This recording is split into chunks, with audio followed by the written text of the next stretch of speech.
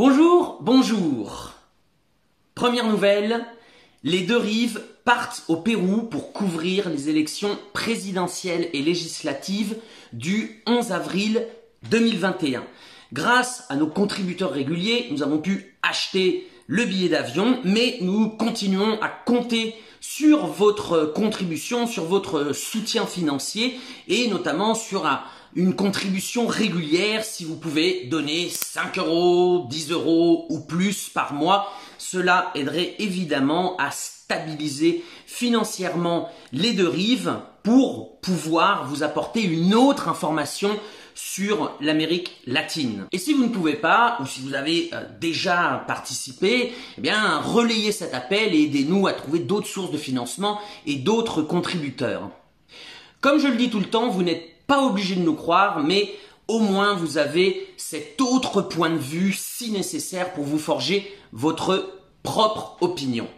Évidemment, tout cela a un coût pour que cette euh, voix discordante, cet autre son de cloche ne s'éteigne pas.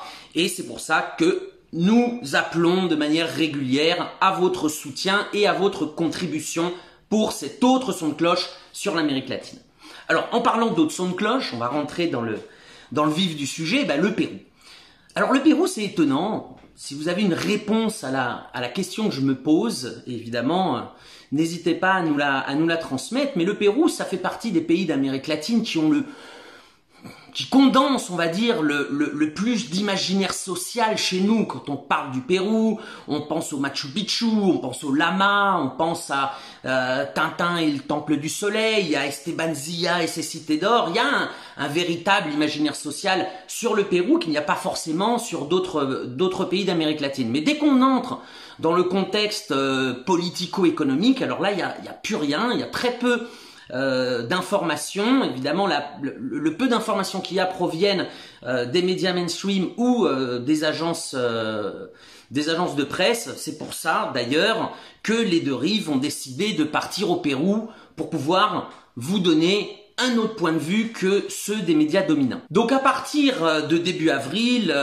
évidemment, on fera des reportages de terrain, euh, comme nous avions fait en Équateur, euh, des interviews exclusives, et pour vous permettre de, saisir ce qui est en jeu euh, sur l'élection présidentielle. Mais avant ça, je me propose aujourd'hui de vous donner les clés nécessaires pour comprendre le, le, déroulement, ou en tout cas une analyse préélectorale de la situation au Pérou en ce moment en vue des élections du 11 avril 2021. Alors, quand on parle de, néolibéralisme en, Amérique latine, le premier pays qui, qui nous vient à, l'esprit, c'est évidemment le Chili, puisque c'est là que c'est né, non?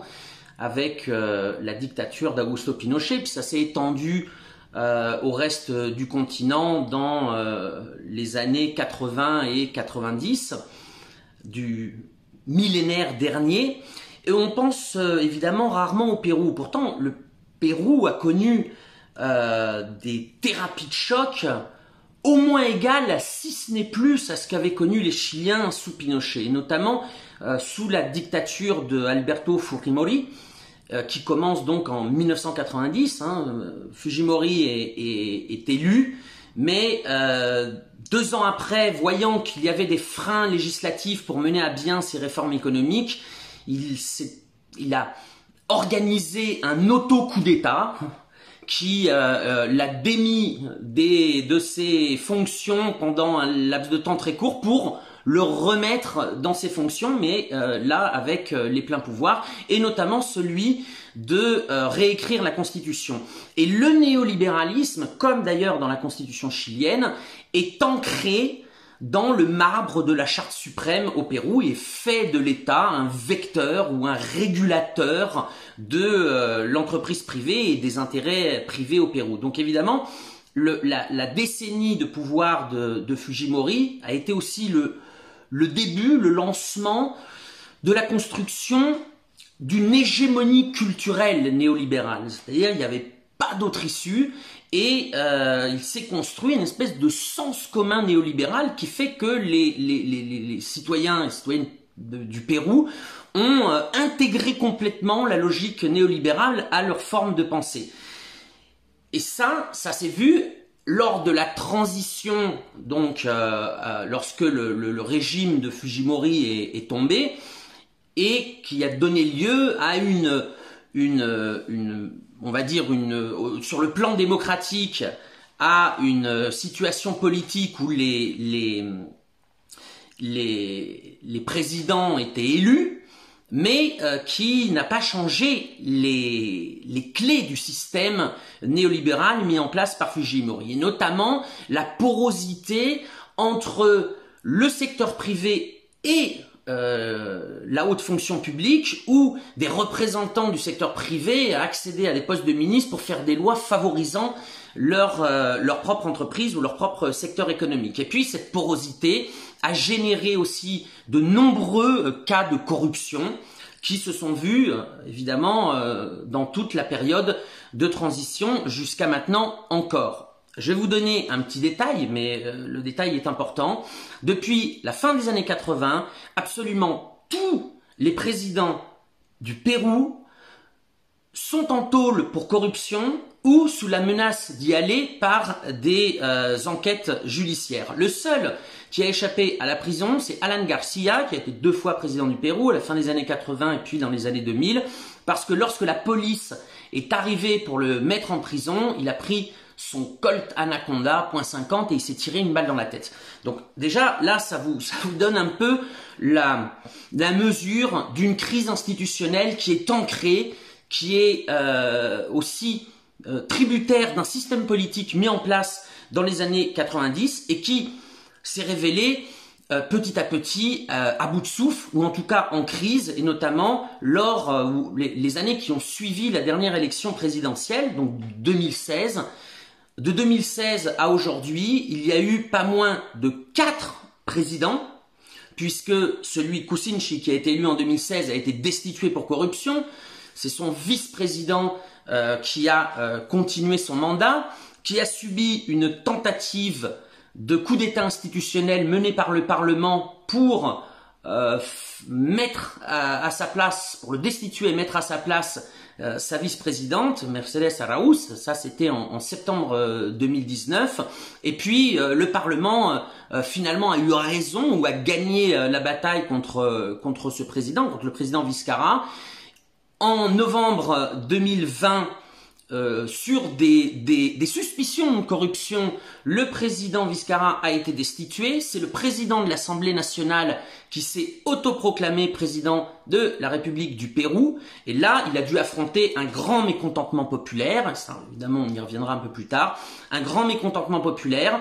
Et sous la pression de la rue, il a dû euh, démissionner. Donc cette personne s'appelait Manuel Merino du parti Action Populaire. Retenez bien parce qu'on va encore en parler évidemment euh, un peu plus tard, lorsqu'on présentera les candidats à l'élection du, 11 avril. Et euh, le Parlement a trouvé euh, une personnalité, on va dire, plus consensuelle en la présence de Francisco Sagasti pour nommer donc un président qui est finalement un président de, transition qui va emmener le, Pérou jusqu'aux élections du 11 avril. Donc là, on est à la fois dans une crise institutionnelle qui date, non euh, dans laquelle euh, on a pu voir aussi que les grands partis qui avaient structuré la vie politique du Pérou sont complètement euh, démembrés. Il y a, plus peu encore, peut-être à l'exception d'un ou, deux partis de ces grands partis qui avaient structuré la vie politique du Pérou. donc une crise aussi de la représentation politique de la, forme de faire vivre euh, la démocratie, et puis euh, une crise économique qui est, elle, complètement tributaire euh, du modèle néolibéral mis en place dans les années 90 et qui a commencé à craquer de partout avec la crise liée au Covid-19.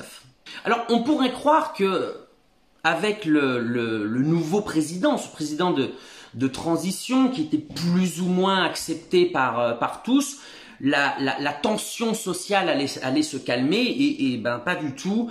Euh, depuis euh, donc euh, la crise de novembre 2020, le, président donc actuel Francisco Sagasti a dû affronter et résoudre plusieurs mobilisations, notamment une mobilisation contre la, la, loi agraire, donc qui était aussi, elle aussi, une réminiscence des années 90 du régime de Fujimori, où le ministre qui avait fait accepter cette loi était lui-même un entrepreneur, un grand entrepreneur du secteur agricole. Hein, on parlait de la, porosité euh, il, y a, il, y a, il y a quelque temps. Et cette loi a été reconduite une première fois en 2010, une deuxième fois par Viscara en 2019 avec quelques aménagements. Et euh, là aussi, euh, comme conséquence de euh, la crise sanitaire qui a mis à nu les, les, les, vraiment les injustices liées à cette loi qui favorise évidemment les grands entrepreneurs agricoles au détriment des, euh, des travailleurs, euh, des travailleurs du, du, du secteur.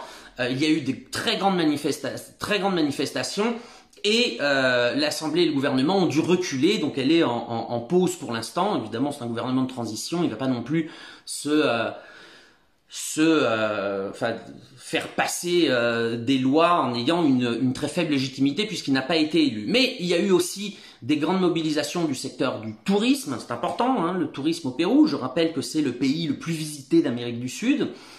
Euh, et donc qui est en crise pour, bah, vous devinez, hein, pour euh, l'arrêt des, euh, des vols ou la, la, diminution des vols liés à, à, la pandémie du, du Covid-19. Et puis il y a eu aussi, il y a, a très récemment des mobilisations dans le secteur du transport.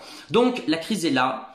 Le modèle euh, qui, s'est implanté dans les années 90 et qui finalement a survécu à Fujimori euh, avec ses gouvernements euh, démocratiquement démocratiques, en tout cas élus pendant euh, deux décennies, le système est à bout de souffle et une des preuves des nombreuses, hein, en plus de toutes les manifestations, euh, du mécontentement euh, permanent euh, de, la société péruvienne, mais une des, des, clés, en tout cas, pour comprendre ce, modèle à bout de souffle, c'est que la constitution que Fujimori avait modelée justement pour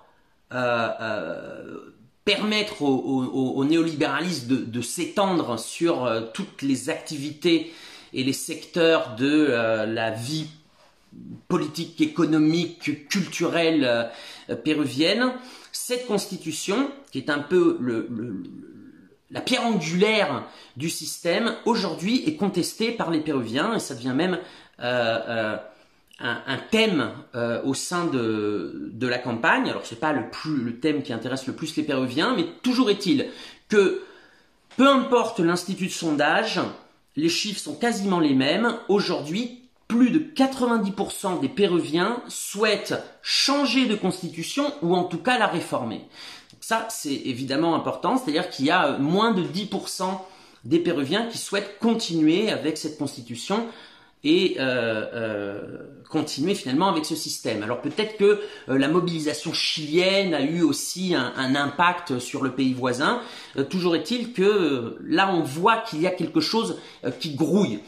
Et là, c'est important parce que euh, dans les, les, thèmes qui vont, euh, au-delà des thèmes qui vont préoccuper les, Péruviens pour cette élection, qui sont la santé, évidemment liée au Covid, l'économie, l'emploi, euh, la qualité de vie et le, salaire, qui sont évidemment des, aussi des conséquences de euh, la pandémie, mais pas seulement, puisqu'il y avait eu aussi des euh, manifestations avant la pandémie. Donc, euh, la contestation aussi du, du, modèle économique mis en place, et puis la corruption. Ces thèmes, santé, économie et vie démocratique, corruption, sont les mêmes thèmes qui préoccupaient les Équatoriens il y a quelques semaines avant le, le premier tour de l'élection présidentielle ce qui est important, c'est que euh, au-delà de ces thèmes, comme je disais, il y a une, dichotomie qui se, forme au Pérou entre d'un côté le mécontentement réel sur le système politique et économique actuel et la peur de l'inconnu. Et en fait, on va voir que les candidats se positionnent à la fois sur l'un, à la fois sur l'autre, ou parfois même sur les deux pour essayer justement de gagner des voix. Changer le système, euh, continuer avec le système. Il y a des, des candidats, comme nous le verrons, euh, qui sont des partisans hein, de, de ce de, de, ces deux pôles ou euh, des candidats plus centristes ou en tout cas qui manient une, un, récit politique qui essaie de préserver la chèvre et le chou en essayant de surfer sur le mécontentement tout en préservant un petit peu le système. Et nous verrons cela quand euh, nous, nous, présenterons les candidats. Toujours est-il que cette, euh, cette dichotomie est essentielle pour comprendre le moment politique au Pérou et évidemment pour comprendre les élections qui viennent. Alors, déjà avant de, se lancer dans la, dans la présentation des principaux candidats, je ne vais pas tous les faire. Hein. Il y a 23 candidats à, l'élection présidentielle. C'est énorme. Euh, on va présenter euh, les, principaux, ou en tout cas ceux que les, sondages euh, montrent dans un mouchoir de poche d'ailleurs pour la bagarre pour accéder au deuxième tour. Alors, ce qu'il faut voir, c'est que comme produit d'une certaine désinstitutionnalisation polique, euh, je vous parlais de que les, principaux partis politiques qui avaient structuré euh, la, vie démocratique péruvienne avaient explosé en vol, à part peut-être un ou deux. Toujours est-il que le parti ne veut pas dire grand-chose. Ce n'est pas un indicateur euh, s'il est progressiste, conservateur, de droite, de gauche, national populaire ou libéral. En fait, les partis sont, pour beaucoup en tout cas, sont des franchises que euh, des candidats peuvent investir pour euh, proposer leur, euh, leur, propre, leur propre agenda politique. comment je pourrais traduire ça? Ben, je sais pas. C'est par exemple, vous prenez un, un, petit parti qui existe, qui est légitime, qui est légal, et vous l'investissez avec plusieurs dizaines de militants euh, avec un accord évidemment avec les, autorités du parti, et puis bah, vous lui faites euh, finalement euh, changer, de, de, lui faire prendre un virage en fonction de la propre vision politique que, que, vous, ayez, que, vous, que vous avez vous. Et ça, cette utilisation des partis vraiment comme, comme machine électorale, hein, c'est-à-dire qu'un parti peut être progressiste un jour et plus conservateur le lendemain, ça c'est évidemment propre à cette crise de la représentation politique qui traîne larvée euh, depuis la fin des années 90 ou en tout cas depuis la période de, transition au Pérou. Euh, donc c'est un système évidemment politique fragile. On ne peut pas vraiment l'expliquer, comme souvent d'ailleurs à notre époque, hein, euh, par un, un, unique clivage gauche-droite. il y a plusieurs clivages. Il y a euh, des clivages euh, générationnels, bien évidemment. Il y a des clivages ethniques. Le Pérou a, beaucoup de nationalités aussi hein, en, présence, et puis un certain aussi euh, racisme entre différents groupes ethniques. il y a évidemment le clivage dont je parlais tout à l'heure entre le mécontentement par rapport au système et la peur d'un saut dans l'inconnu. Il y a un clivage euh, évidemment très important qui est le clivage entre Lima, la capitale, et les régions. C'est-à-dire un, véritable euh, clivage territorial. Et puis, euh, on a vu aussi une demande de plus de participation des femmes et notamment sur les, droits des femmes. Alors évidemment, comme elles sont aux alentours de 50%, c'est aussi un électorat euh, dont se disputent la, plupart des, euh, la plupart des candidats. Donc, voir ou essayer d'analyser ce qui se passe au Pérou en essayant de regarder euh, l'histoire de certains partis, en essayant d'appliquer une lecture gauche-droite, c'est compliqué c'est compliqué et euh, justement il faut aller un petit peu gratter pour voir qu'est-ce qu'il y a derrière cela. C'est exactement ce qu'on va faire en ce moment. Donc je vous présente très rapidement la plupart des candidats qui ont une chance d'arriver au deuxième tour, ou en tout cas peut-être un petit peu plus élargi. Euh, en commençant, euh, en commençant, on va dire sur la le spectre euh, le plus conservateur de l'échiquier politique péruvien. Ce qu'il faut voir avant d'arriver sur le, candidat euh, Rafael López Aliaga, c'est que euh, les sondages montrent que celui qui est en tête des sondages est en tête avec entre 12 et 14 des intentions de vote. Ceux qui le suivent sont entre 7 et 11. Donc si vous incluez la marge d'erreur, vous verrez que c'est très très serré et que rien n'est joué en sachant qu'il y a 40% d'indécis encore maintenant à trois semaines du vote. Donc, le, un, des premiers candidats, donc c'est euh, Rafael Lopez Aliaga, euh, qui est un entrepreneur et euh, qui se lance finalement dans une autre aventure euh, entrepreneuriale qui est d'arriver euh, à la tête du Pérou, un peu comme euh, l'ancien président PPK, Kucinchi, qui avait été destitué pour corruption en 2018. Et c'est un secteur de, du patronat péruvien, enfin il provient d'un secteur du patronat péruvien qui n'est pas le secteur productif par excellence, mais qui est le secteur qui s'est enrichi euh, via les contacts ou leur participation euh, au sein de l'appareil d'État. Notamment, M. Euh, Lopez Aliaga a bénéficié de la concession du train qui mène au Machu Picchu, donc évidemment donné, donné par l'État et donc qui lui a permis de s'enrichir et de développer par la suite ces autres, les, autres secteurs de, de, ces différentes entreprises. Donc là évidemment on voit une espèce de, de monopole qui finalement n'est pas du tout libéral il représente euh, la bourgeoisie de Lima, hein, parce qu'il y a aussi des, secteurs euh, du patronat ou bourgeois euh, dans les régions. là, c'est vraiment la, bourgeoisie de, de, Lima. Et puis, avec un discours assez offensif, clairement marqué pour le coup conservateur. Si on pouvait le rapprocher de quelqu'un un petit peu plus connu en Amérique latine, on le rapprocherait. Je fais ces c'est parallèle hein, pour essayer de, situer un peu les, différents candidats, on le rapprocherait de, euh, euh, Jair Bolsonaro au Brésil. Et qui plus est, on peut le rapprocher de Jair Bolsonaro au Brésil puisqu'il il bénéficie aussi euh, de l'appui et du soutien inconditionnel de secteurs religieux euh, non pas pour le coup euh, euh mais euh, de secteurs religieux, notamment liés à, à l'Opus Dei.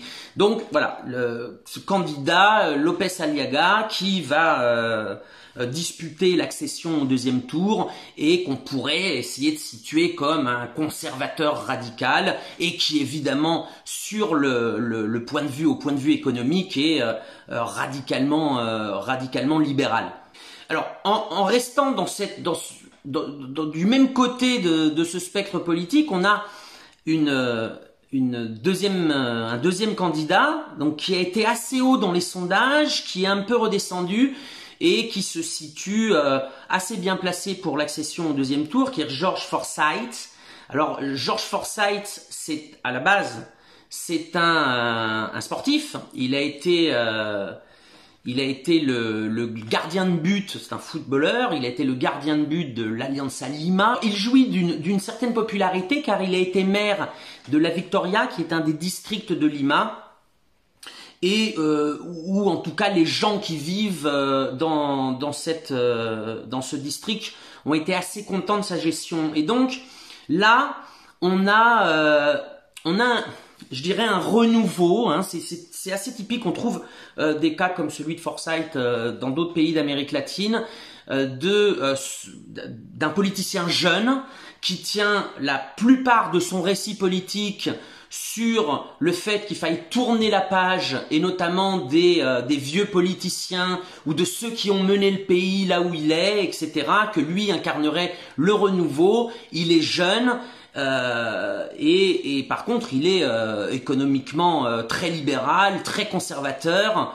Euh, il a fait des, des, réflexions aussi sur la, la migration qui sont complètement racistes, hein, mais sans, sans, sans, même se, se cacher. Alors c'est évidemment d'autant plus drôle que le, ce candidat, donc Forsyth, est né à Caracas de mère chilienne. c'est assez, assez cocasse. Euh, on lui a d'ailleurs, euh, un journaliste lui a, lui a fait remarquer ça, il, il s'en est tiré avec une, une, réponse encore plus raciste euh, et, et machiste. Mais voilà, George Forsyth, si on veut encore le comparer à quelqu'un en, en, Amérique latine, on pourrait le comparer à, au, président du Salvador, Nayib Bukele. C'est-à-dire au niveau économique, ne changeons rien, gardons le système avec euh, certaines euh, euh, gestions du quotidien dans des domaines évidemment pas dans des domaines sociaux ou dans le domaine du travail qui peuvent porter leurs fruits. Et puis cette figure du renouveau, du jeune en politique qui va essayer de de, passer euh, ou de, de, dépasser un système euh, corrompu avec, euh, et représenté par d'anciens politiciens ou de ceux qui ont fait la politique jusqu'à maintenant. Donc voilà, ça c'est George Forsyth. Alors on voit d'ailleurs que dans le, le, le récit non, de, de, Forsyth, bien évidemment, il y a cette... Ce, mélange finalement entre le mécontentement contre le, le système actuel, hein, quand il dit vouloir dépasser euh, le, la, politique euh, actuelle ou traditionnelle du Pérou avec ben, en, essayant de rassurer euh, la, peur d'un saut dans l'inconnu et finalement en préservant le, le, système économique. Donc là, ces deux-là, évidemment, alors Forsyth, évidemment, il a des positions alors là qu'on pourrait qualifier de droite, mais pas seulement. C'est-à-dire il y a de droite vers vers un espèce d'inconnu euh, qui évidemment se garde bien de définir. Euh, on l'a vu notamment dans le, dans le premier débat présidentiel, euh, il n'avait, à part des promesses, mais ça les promesses n'engagent que ceux qui y croient, mais il n'a jamais expliqué comment il allait faire pour arriver à ses promesses. Ça a été un discours complètement creux. Et évidemment, puisque s'il commence à rentrer, je suis pas sûr d'ailleurs qu'il puisse il puisse rentrer euh, vraiment dans les détails de, son plan économique, mais euh, on découvrirait évidemment un, ultralibéralisme redoutable. Je précise aussi que sur ce candidat, son, euh, son, candidat à la vice-présidence est Jorge Chavez, qui a été le directeur de la Banque centrale du Pérou sous Fujimori. Donc je veux dire, il n'y a pas de mystère. On sait qui va mener euh, euh, la politique euh, économique du Pérou en cas de victoire de Forsyth et sur quelle, sur quelle base, n'est-ce pas? Alors, il y en a un autre candidat, dans, toujours dans, dans, dans ce camp conservateur, libéral ou libéral progressiste, hein, enfin, sur, sur certains thèmes.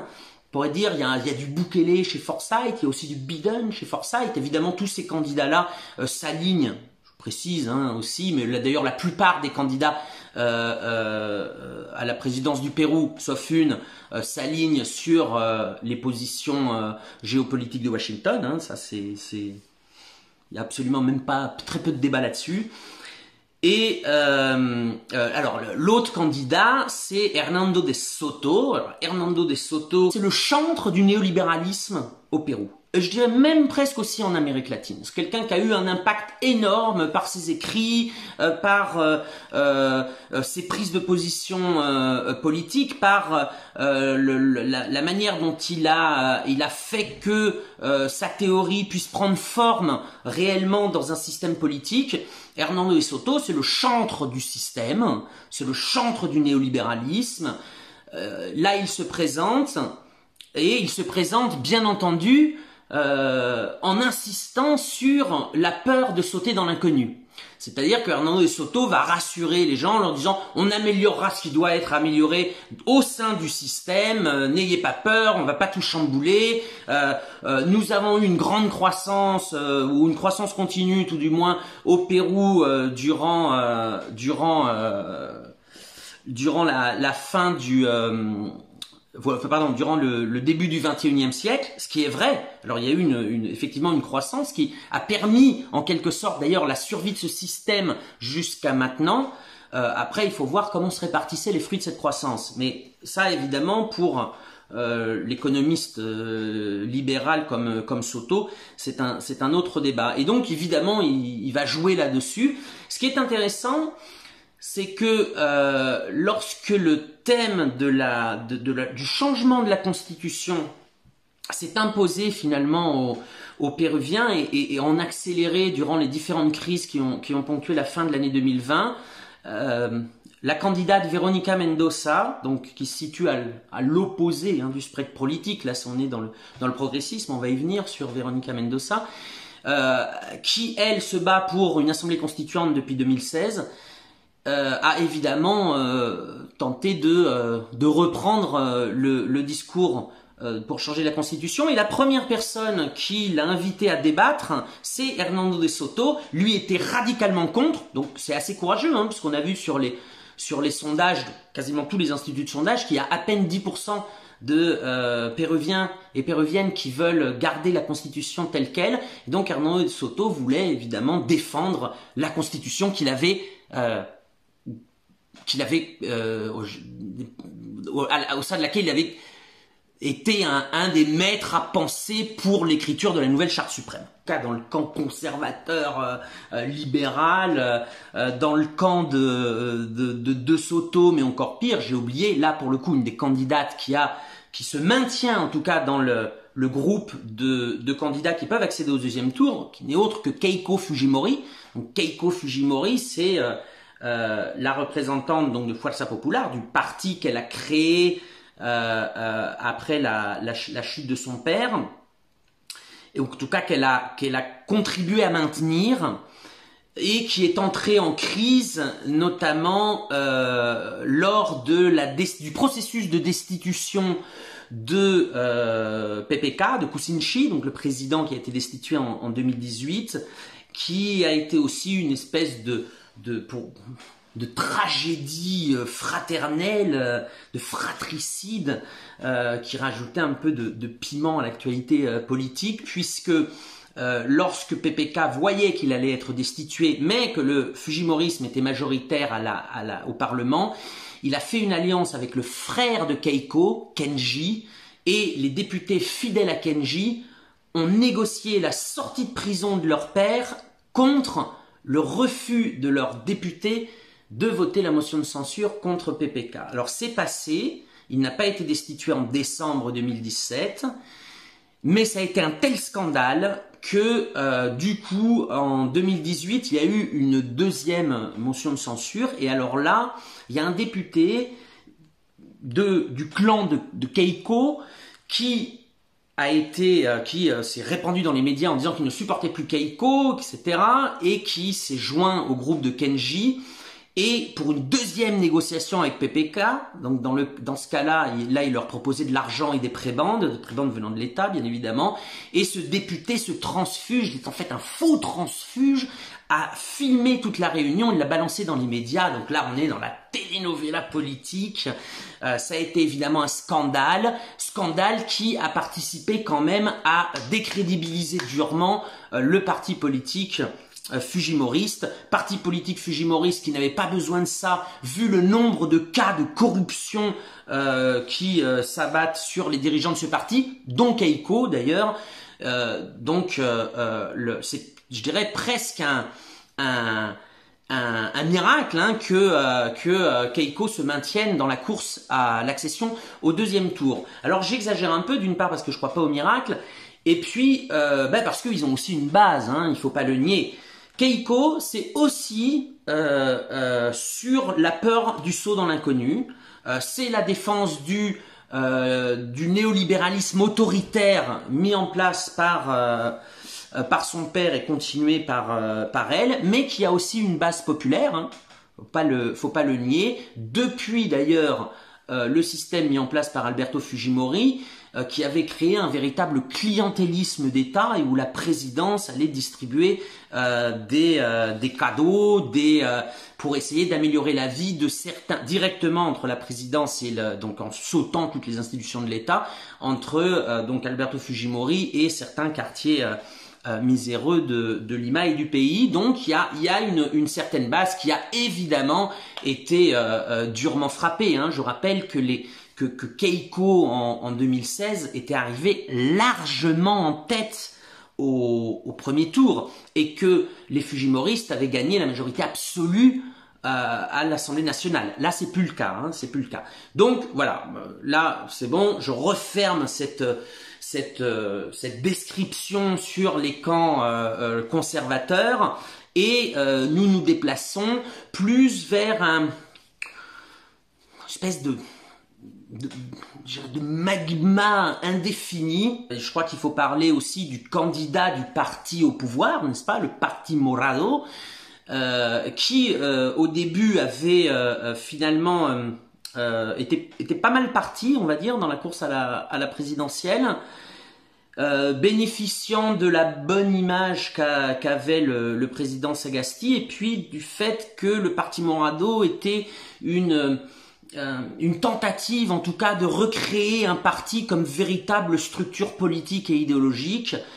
Euh, et euh, la, candidature a fait flop car donc le candidat Julio Guzman un soir avait rendez-vous dans ses garçonnières avec une jeune militante et avocate de son parti et l'appartement a brûlé et euh, euh, Julio Guzman a fui en laissant la, la jeune femme seule dans l'appartement, l'immeuble a brûlé, euh, le type s'est barré, et en fait, bon alors là, c'est évidemment, c'est pas, c'est pas drôle, même si je me marre, mais mais du coup, le, le, le, ses positions politiques et les, les, propositions politiques ont été complètement disqualifiées par euh, son attitude personnelle, non, de, de quoi, de lâche, euh, de, de, de non-respect de, de son ami.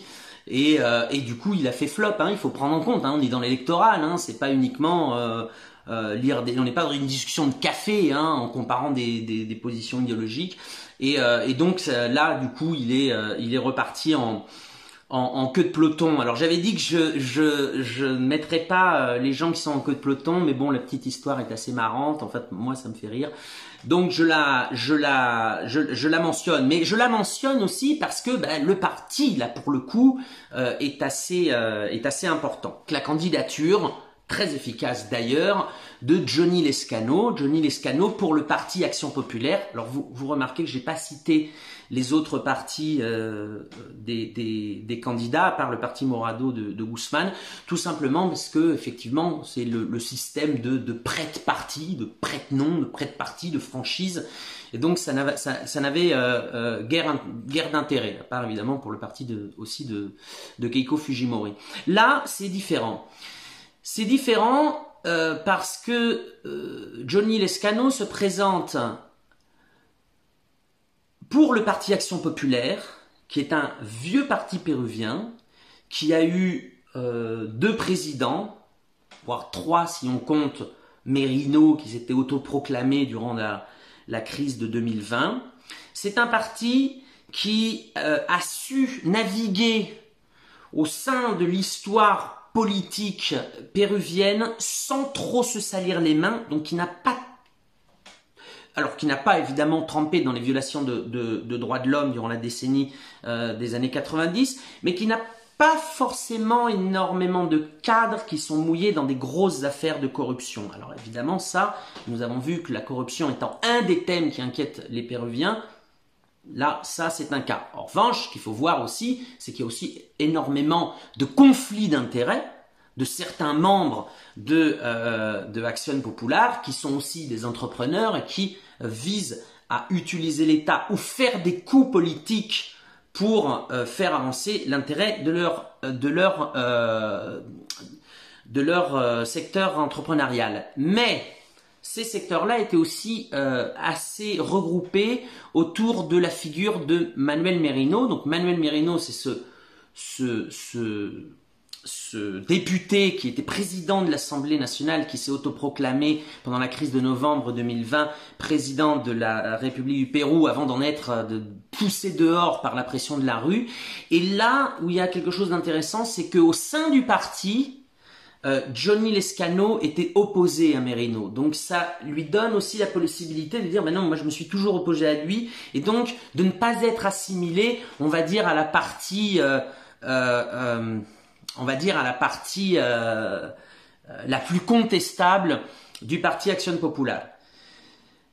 Autre chose, Action Populaire, sur le plan économique, et là on l'a vu pendant le débat, alors le, pendant le débat, l'escano est assez habile, il, parle relativement bien, c'est charismatique, il dit pas grand chose, évidemment, euh, il n'empêche que ça reste euh, avec un substrat très libéral au niveau économique, mais en prenant en compte des clameurs, des clameurs populaires euh, et en voulant modifier euh, certains aspects euh, du système qui ne va pas. il s'est déclaré d'ailleurs favorable à la modification de la Constitution sur certains thèmes, pas une assemblée constituante, mais à la modification de la Constitution. Et il a deux atouts. Il est alors déjà donc il peut incarner un, un certain changement, ou en tout cas il, fait certaines critiques par rapport au système actuel, euh, tout en, euh, euh, en étant un héritier total du système qui vient de, enfin, des, des, 20 ou 30 ans qui viennent de s'écouler. Lescano a été pendant des années député à l'Assemblée nationale. Il vient des provinces, donc évidemment dans cette euh, dans ce clivage province-Lima, c'est très important. Hein, et d'ailleurs, une grande partie euh, de son électorat vient du sud du Pérou, non, sud euh, rural péruvien. mais il a été aussi député de Lima, donc il a aussi un pied à Lima, un pied dans les provinces et un pied dans le, la volonté de changement et un pied dans la stabilité. Et puis, bah, c'est pas anodin hein, avec cette cette cette manière donc de, de, de, de, faire la, de faire cette politique et avec évidemment tout ce qui peut lui, lui, lui, porter euh, euh, un, un, meilleur électorat que Johnny Lescano dans à peu près la majorité des, euh, des sondages est celui qui caracole en tête. attention, qui caracole en tête entre 12 et 14 mais il semblerait effectivement, alors je, je, fais pas de pronostic parce que c'est tellement serré et il y a tellement d'indécis et il reste euh, quand même trois semaines que tout peut encore euh, tout peut encore changer. Mais en tout cas, pour l'instant, sur la photo des, tendances des différents sondages jusqu'à maintenant, euh, Johnny Nescano est premier. Donc avec une marge, si petite soit-elle, plus importante que la marge qui sépare le deuxième candidat, enfin le deuxième candidat dans les, dans les, dans les sondages des cinq autres. Voilà. Et puis, euh, à gauche, alors euh, là évidemment c'est euh, le camp progressiste, c'est le camp de de la gauche. Nous avons Veronica Mendoza. Donc Veronica Mendoza est une une jeune politicienne. Hein. ma mémoire, je voudrais pas la la, vieillir ou la rajeunir, mais elle, a autour de 40 ans. Elle a été euh, députée de Cusco euh, durant le, premier gouvernement de, de Ollanta Humala, enfin le gouvernement de Ollanta Humala. Elle a démissionné de ses fonctions lorsque Humala a révélé être euh, ce qu'il était, c'est-à-dire un, un, démagogue et un traître avec, par rapport à ce qu'il avait proposé à, au, peuple, au peuple péruvien. Euh, Véronica Mendoza s'était lancée à l'élection euh, présidentielle de 2016 et elle avait manqué de très très peu l'accession au deuxième tour de 300 euh, 000 voix si ma mémoire est bonne et elle avait su capitaliser elle le mécontentement euh, alors du coup, elle, elle s'affiche pas du tout hein, sur la peur de l'inconnu. Elle essaie d'expliquer. Elle est entourée euh, d'une équipe très dynamique euh, d'universitaires et de membres d'organisations sociales qui ont un plan de gouvernement en béton. J'en profite d'ailleurs si elle écoute pour saluer mon amie Anaï Durand, qui est la responsable du plan de gouvernement. Et, et, là, on voit une certaine différence avec les autres candidats, c'est-à-dire que c'est assez transparent, il n'y a rien à cacher, il y a des positions assumées. Euh, la position de se baser sur le mécontentement et sur le changement est, claire, radicale. Veronica Mendoza a été la première, enfin la première politicienne d'envergure au Pérou à demander euh, une assemblée constituante pour euh, changer de constitution. Et donc elle est dans le dans le deuxième, euh, enfin dans le peloton qui poursuit euh, Johnny Nescano qui est en première en, pole position pour l'instant. durant le premier débat présidentiel, les spectateurs qui pouvaient voter et qui ont voté au nombre de 100 000 un petit peu, un petit, un petit peu moins, 98 000, ont, ont montré que Véronica Mendoza avait été la grande gagnante de ce débat à 35%. Hein.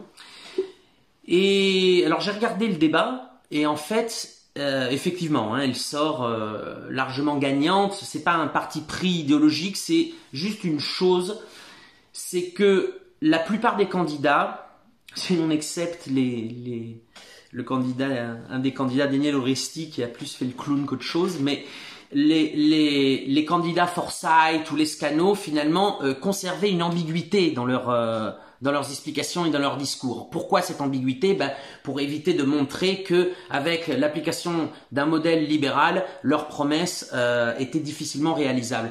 Véronique Amen, et, et en fait, quand, on, quand les journalistes demandaient euh, des questions, ils reprenaient régulièrement notamment ces deux candidats, en leur disant mais vous n'avez pas répondu à notre question, la question est comment vous allez faire?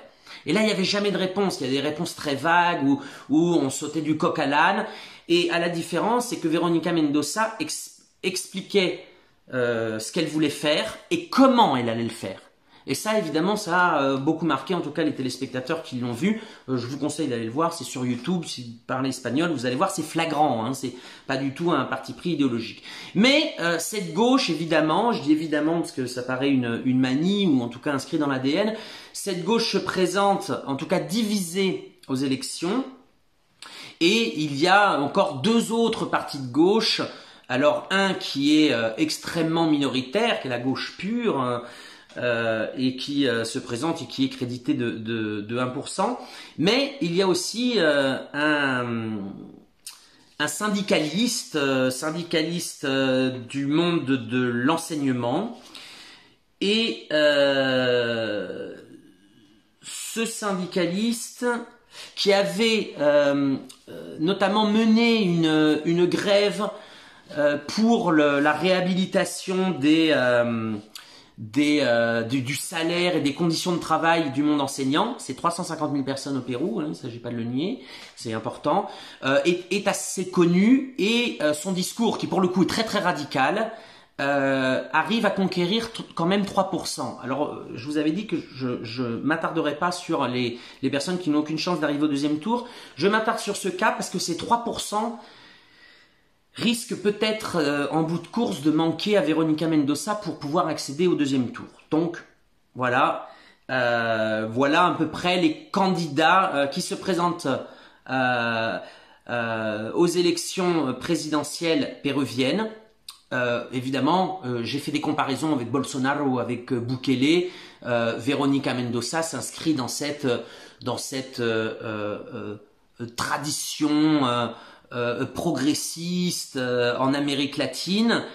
D'ailleurs, c'est un grand défi aussi qu'elle qu'elle arrive à, à, mêler ce progressisme avec un, une, une, vision aussi, ou en tout cas un récit national populaire pour essayer d'aller prendre les voix un peu plus au centre et euh, sur des, euh, perspectives de changement. Toujours est-il qu'elle s'inscrit dans, la tradition euh, des, changements, des révolutions citoyennes, de la vague rose-rouge qu'a connue l'Amérique latine dans les années 2000.